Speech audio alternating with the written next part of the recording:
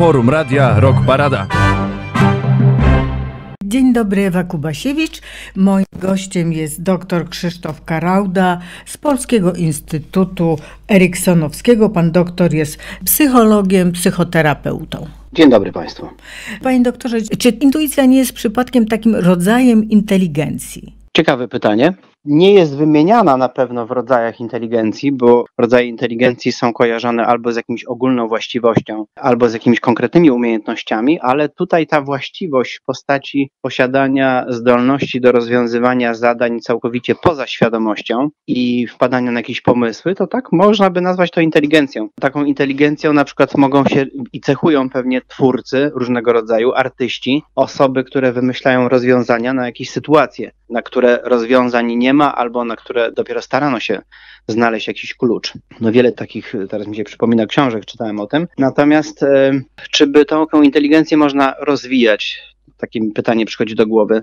No pewnie można i z pewnością no bo, byłoby, to, no byłby bo, to rodzaj inteligencji. Tak, bo to myślę byłaby taka inteligencja podświadoma właśnie. Czy można ją rozwijać? Sumie to już odpowiedzieliśmy na to pytanie, że owszem, tak. Pytanie tylko, czy, czy by to spostrzegać jako inteligencję. No w nauce wiem, że nie spostrzega się tego raczej jako inteligencję, tylko po prostu właściwość albo jakiś fenomen, który się zdarza ludziom, czasem częściej, czasem rzadziej, ale tak potocznie, ja myślę, że określenie tego jako inteligencji jakiegoś rodzaju byłoby naprawdę na plus dla nas, bo by pozwalało też, co, co wiemy w sumie o inteligencji, że można ją rozwijać. Można inwestować jakąś energię, można skupiać się na tym, jakimi sposobami zasilać swoje różne stany zasobowe, czy zasilać swój w cudzysłowie zbiornik umiejętności, wiedzy i doświadczeń. No dobrze, to teraz czy warto ufać inteligencji, czy warto się nią posługiwać? To jakby pan odpowiedział? Z mojej perspektywy z pewnością warto ufać i inteligencji, i intuicji. Niemniej też warto testować rzeczywistość y, i rozmawiać z innymi ludźmi najwięcej można się dowiedzieć, kiedy się rozmawia z ludźmi, którzy mają inne poglądy. To najbardziej zasila intuicję kreatywną. Kiedy się przebywa lub zasila poglądami takie, które my też mamy, to stajemy się coraz bardziej, myślę, inteligentni, biegli, ale tylko w tym zakresie, który nas interesuje i te, te intuicje będą wspierały głównie te punkty widzenia, które już posiadamy. Natomiast wprowadzenie dodatkowego elementu tworzy ten ten taki, do, taki dobry proces fermentacyjny, który będzie już posiadane wartości czy myśli, założenia, przekształcał w nowe, w nowe wizje, nowe sposoby myślenia i będzie dawał nam okazję do tego, żeby móc rozmawiać i myśleć na poziomach, na których do tej pory nie rozmawialiśmy. Bardzo mi się przypomina tutaj metoda sokratejska, która polega owszem na zadawaniu pytań, ale też i na takim nauczeniu się, szczególnie na filozofii jest to trenowane, ale pewnie w niektórych szkołach również, uczeniu się przyjmowania różnych stanowisk, czyli na przykład tworzymy debatę i w tej debacie na przykład jedna strona udowadnia e, jakieś tam zdanie.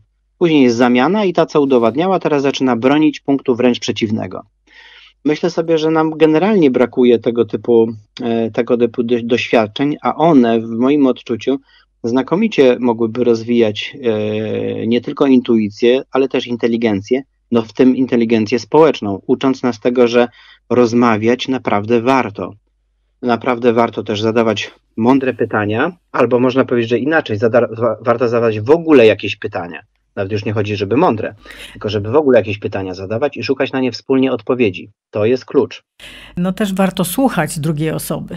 Tak, bo tak. słyszymy, że mówi, ale nie słuchamy. No tak, kiedy zadajemy pytanie albo, albo słuchamy kogoś, wiedząc już, jakie jest nasze własne stanowisko, to często jesteśmy na tym tak skupieni, że w zasadzie nawet nie pamiętamy dokładnie, co ten człowiek powiedział, lub wy, słyszymy z tej wypowiedzi tylko to, co byśmy chcieli usłyszeć.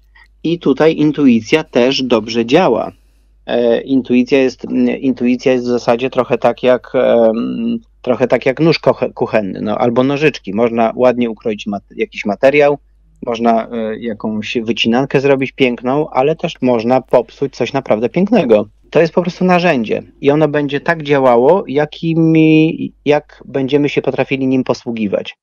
Mhm. Panie doktorze, a słyszał Pan o takiej technice krzesła? To jest taka technika, czasami terapeuci podpowiadają taką technikę, jak się nie wie, jaką decyzję podjąć, żeby postawić dwa krzesła. Jedno reprezentuje jeden wybór, drugie drugi wybór, no i usiąść y, najpierw na jednym krześle, wyobrazić sobie sytuację, zastanowić się, co się czuje, no a później na drugim, no i to samo poczuć, co się czuje, no i później intuicyjnie rozwiązać, czyli podjąć decyzję. Słyszałem o wielu wersjach dokładnie tej samej techniki. To jest jedną, jedną z takich, gdzie można też poczuć siebie samego, który podejmuje decyzję określonego typu. Wtedy czy terapeuta, czy coach, czy, czy ktoś, kto to prowadzi, zwraca uwagę klientowi na to, aby on z kolei zwrócił uwagę na różnego rodzaju odczucia w ciele i różnego rodzaju myśli, które w tym momencie przychodzą do głowy. I ten rodzaj poruszenia, który się pojawia, jest uznawany za jakąś prawdę o tym, czy my tego wyboru chcemy, czy nie. I też, też stosowałem taką, ta, taką technikę, również na kartkach, i widać było często wyraźnie, że ktoś na przykład nie chciał siąść na danym krześle, i to już była dla niego informacja co do tego wyboru. Na początku myślenie jest takie, a dobrze, fajna technika, a później się okazuje, że ona posiada swoją głębię, ponieważ dostarcza takich danych w postaci swoich odczuć fizycznych, ale też napływu różnego rodzaju myśli, że podjęcie danego wyboru staje się po prostu prostsze. Tylko, że nie może być tych wyborów za dużo. To już też sprawdziłem. Jeśli jest ich więcej niż dwa, trzy, to zaczyna trudno się... podjąć decyzję. To jest tak. tak, jak kobieta idzie do sklepu i ma kupić sukienkę. Jak są dwie, to zawsze wybierze którąś, ale jak jest więcej, to już się robi problem. Słyszałem też, że jak są dwie, to po prostu trzeba kupić dwie. no to najlepsza opcja. Panie doktorze, a niektórzy mówią, żeby zapisywać sny moim zdaniem bardzo dobry pomysł. Bardzo dobry pomysł, ponieważ wszyscy, o ile nie mamy jakichś stanów neurologicznych, które by to utrudniały, śnimy. W instytucie też są prowadzone szkolenia dotyczące snu. Ja sam się uczyłem u Violetta Ambroziak-Krzysztofowicz pracy ze snami i sam zacząłem też wdrażać te, tego rodzaju e, myślenie do swojej pracy. Tak, warto ewidentnie zapisywać sny, warto też później się im przyglądać i albo w sposób taki tradycyjny, sennikowy, ale ten terapeutyczny jakoś mi się bardziej podoba. No nie wszyscy mamy dostęp do tych terapeutycznych, ale dużo ludzi może mieć dostęp na przykład do albo terapeutów czy coachów, którzy się tym zajmują, albo na przykład do książek z, obszaru literatury takiej y, Karla Junga, gdzie można dowiedzieć się, jak można patrzeć na swoje sny. Jest też taka książka Sen jako drogowskaz i też pokazuje, e, pokazuje, jak korzystać ze swoich snów. Tak, jest to bardzo cenna informacja o nas. Część osób mówi, że nie śni. Generalnie, nie pamięta. Ale właśnie o to chodzi, że najczęściej jednak nie pamiętają.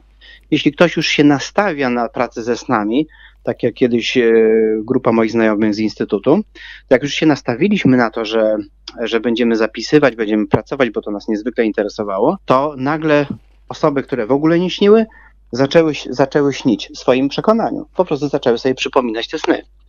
No więc zaczęliśmy zapisywać, przyglądać się im, analizować i z tego naprawdę dużo dobrych rzeczy wyniknęło.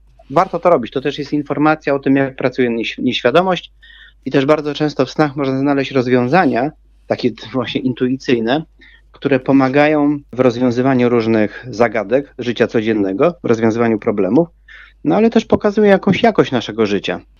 Bardzo dziękuję. Gościem Radia Parada był dr Krzysztof Karauda, psycholog, psychoterapeuta z Polskiego Instytutu Eriksonowskiego. Dziękuję Ewa Kubasiewicz. Dziękuję bardzo. Forum Radia Rok Parada.